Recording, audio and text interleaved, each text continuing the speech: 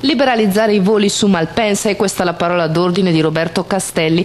Votare l'emendamento 1915 per l'immediata liberalizzazione delle rotte, secondo il sottosegretario alle infrastrutture per il capogruppo della Lega Nord Roberto Cota, è l'unico modo per giungere ad una soluzione che non penalizzi lavoratori, imprenditori e viaggiatori padani.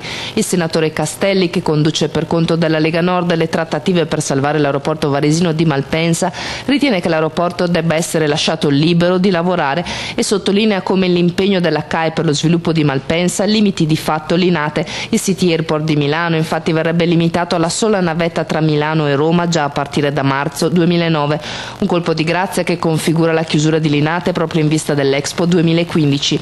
Il Paese, sottolinea il sottosegretario alle infrastrutture Roberto Castelli, abbandonando Malpensa ha già perso 2,8 miliardi di euro di PIL.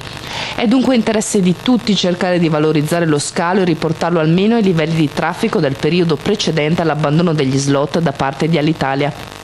Secondo Castelli è necessario aprire ulteriori compagnie aeree attraverso accordi bilaterali, ma è la compagnia aerea tedesca Lufthansa a fornire maggiori garanzie per il rilancio di Malpensa in tempi brevi. Stessa linea anche per l'assessore al territorio urbanistica della regione Lombardia Davide Boni, che sottolinea come il principale aeroporto lombardo non debba essere ridimensionato perché in collaborazione con gli altri aeroporti lombardi è vitale per la salvaguardia economica della regione.